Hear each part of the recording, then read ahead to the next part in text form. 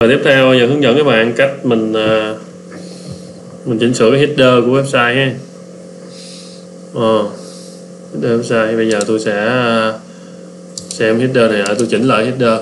Ví dụ tôi có một kịch bản là tôi sẽ làm một cái website um, dạng bán hàng mà có rất là nhiều danh mục sản phẩm giống như bạn dưới làm kim vinh đi. Thì bây giờ nhiều sản phẩm thì mình nhiều cái danh mục sản phẩm thì mình sẽ không làm cái này mình sẽ làm một cái kiểu khác có một cái menu vertical menu ở đây. Nha. Thì à, thì đầu tiên á, là mình phải tạo một cái menu tạo một cái menu vertical menu trước. Ha đây tôi sẽ tạo tôi sẽ tạo một cái menu giao diện menu.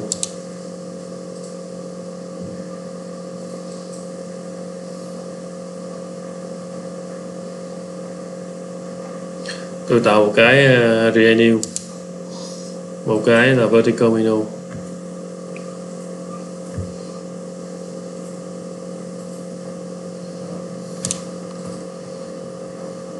Đúng vertical menu tôi bỏ như vertical menu tôi tạo.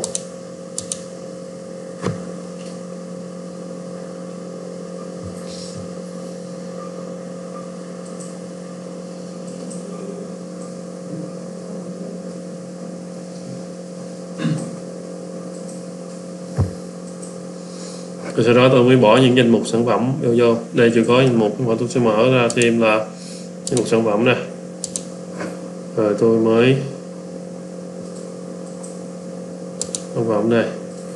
Tôi bỏ hết này qua.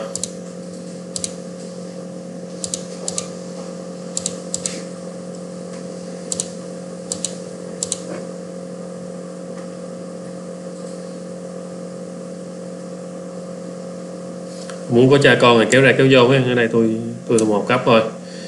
À, ví dụ tôi, uh, tôi kéo thêm đi. Tôi kéo thêm về vô đi. Đó. Đây à. Ừ. rồi. Đây, đây, đây. kéo thêm cái này đi.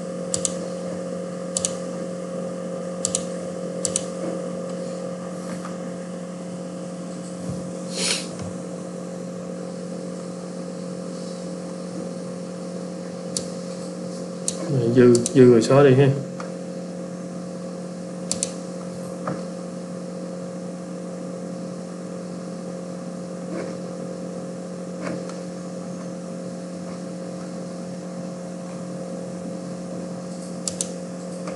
Rồi chăm sóc cho mọi người để ở trên đi.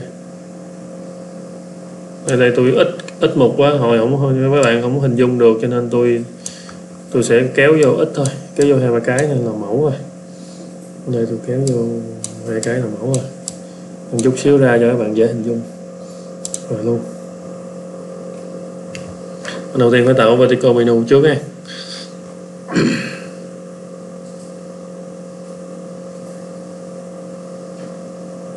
Đó. Rồi sau đó mình mới vô uh, một mình sẽ vô uh, last sum đây option. Hai á, là mình review bên này. Cái thứ hai ha hai cái hai cách vô này để mình chỉnh sửa cái lại cái header lại, có cái vertical menu. Hai cách vô.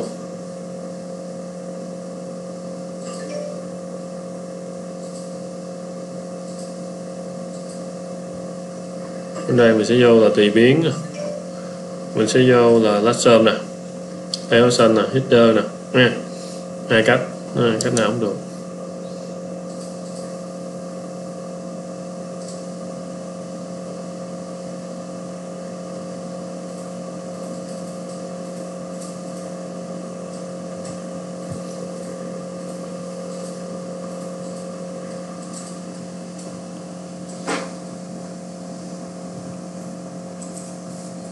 Nó vô đây mình mới chỉnh sửa lại cái header mình. Header. Rồi cái menu mình kéo qua mình uh, à, ngay giữa đây. Còn cái vertical menu mình kéo lên trên đây. Rồi mình đang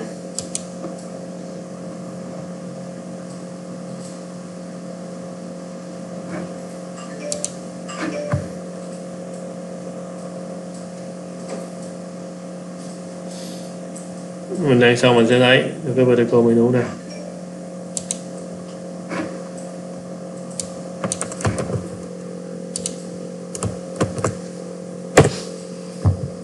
thấy được mình có một cái uh, danh mục sản phẩm.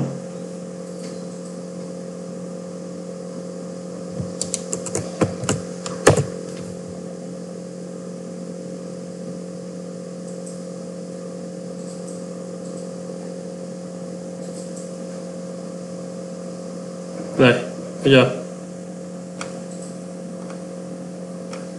đó. đó. Thì bây giờ chỉnh màu này lại. Chỉnh màu này quay lại chỗ uh, chỉnh đây. Bánh ăn cưa quay coi menu đây. Chỉnh màu và chỉnh chiều cao chiều dài. Ở đây mình test đây mình để là danh mục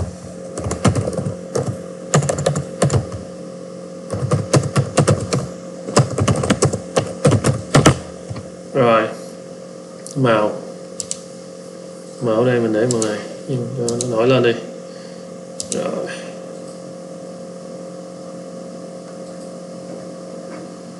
Rồi, khép open on phone bay nghĩa là nó luôn luôn mở, nha.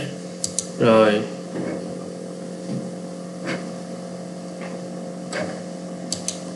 Đó rồi F5 lại.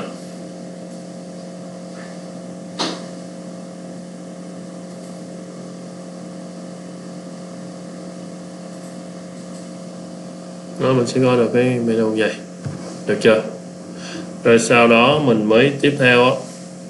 Mình mới ờ, mới làm tiếp cái phần dưới này cho nó cái banner nó nó phù hợp với cái dạng video menu này. Nha. Đó. Rồi tiếp theo thì bây giờ mình sẽ ờ, chỉnh lại màu sắc của màu sắc của cái uh, header này. Màu sắc thì mình chỉnh ở đâu phần màu sắc thì mình chỉnh ở trong vòng um, style color. Là mình chỉnh lại màu. Có sai màu gì mình chỉnh màu đó? Nha đây muốn chỉnh màu gì chỉnh. Nha primary color set secondary color mình chỉnh. Nha nhưng mà cái màu chữ mình để màu màu đen. Vào headline thì mình để lấy cái màu chủ đạo của của website luôn. Đó. Ừ. Ừ, nó chỉnh màu bên này. Rồi bên đây bằng chỉnh màu của toàn bộ website rồi đây chỉnh màu của header ở đây.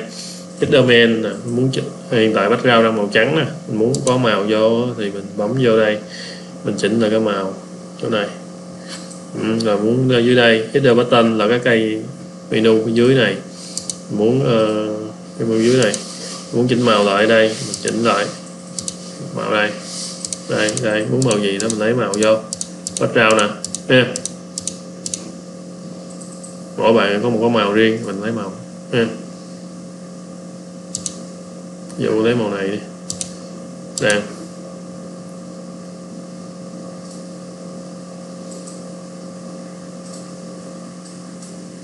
Đó, được chưa? Đó là mình chỉnh màu header ha rồi header đây là muốn sắp xếp cái gì đó, mình sắp xếp ờ tôi muốn ờ bây giờ tôi muốn cái ờ, số điện thoại của tôi đó là đi ờ, muốn cái phần contact xuống đây, tôi kéo xuống đây rồi tôi muốn ờ,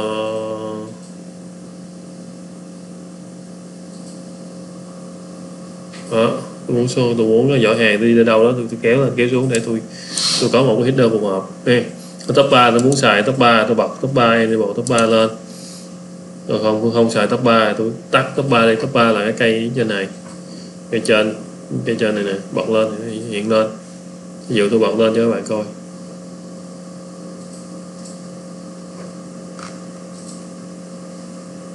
Đây. Ví dụ đây. Đúng không? Ừ.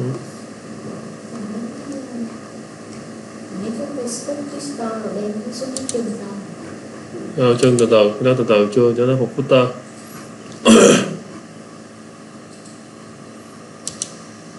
ừ. cho nhỏ lại. Vấn đề nhỏ nhỏ lại. Nó cho nó dạng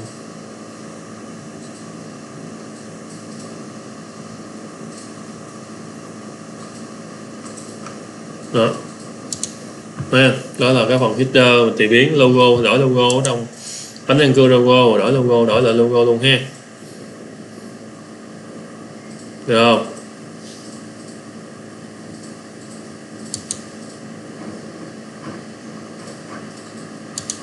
Ừ.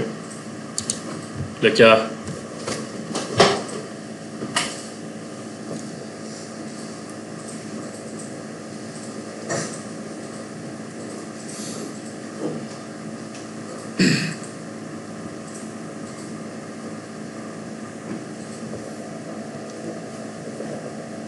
Rồi. Đó, bây giờ đó là xong cái phần header mình, mỗi mỗi bạn mình có một cái cái mẫu, mình có một cái ý tưởng khác nhau để mình làm ra header khác nhau ha mình tự mình làm. Màu sắc của mình tự mình suy nghĩ, nha. Rồi.